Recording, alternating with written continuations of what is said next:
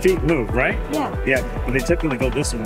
Yeah, they don't go like this because we're going alternating. Because you don't want you don't want to do one side and then the other side at the same time because it'll change the signal of the brain. So yeah, it'll take us a good 10 to 15 minutes to do a good SSEP up and over limbs. Then we've got to do the motors.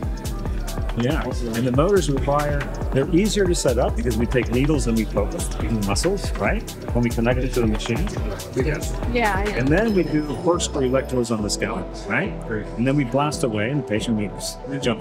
Right. But for those, it takes more changes in the stimulation parameters for motors to get proper motors than it does for SSEP. Ah, very cool.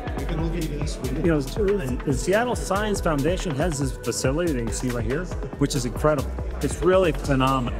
Uh, you get an opportunity to see the different sort of surgical procedures, either, either with a cadaver specimen or different uh, specimens that are not uh, cadavers, and, and you get to practice some of these procedures yourself. When you don't get the chance to do that uh, anywhere else, really. Well, maybe some isolated sort of places. And the facilities here are phenomenal. So it's, it's a unique opportunity. Best I've seen anywhere so far. Awesome. Thank you so much. You're welcome.